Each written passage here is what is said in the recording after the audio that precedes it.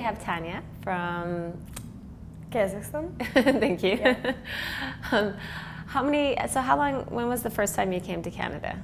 Uh, the first time was two years ago. So this is your second year. Yeah.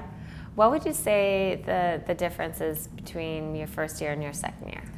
I would say that uh, when I just came to Canada, I felt like a stranger. So I didn't feel like I'm home here.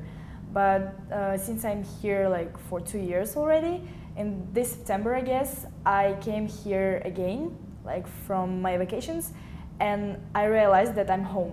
Like I came from Kazakhstan, and it's not my home anymore. I don't feel comfortable like around dead people, and here I feel safe.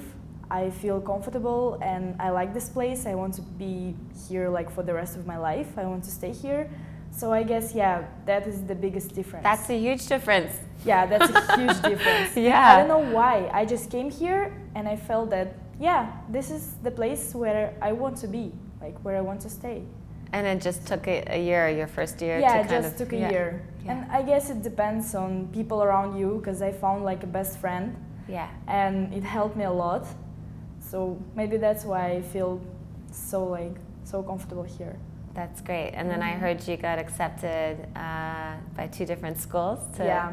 yeah, pursue your acting career. Yeah. That's great. Well, I wish you all the best.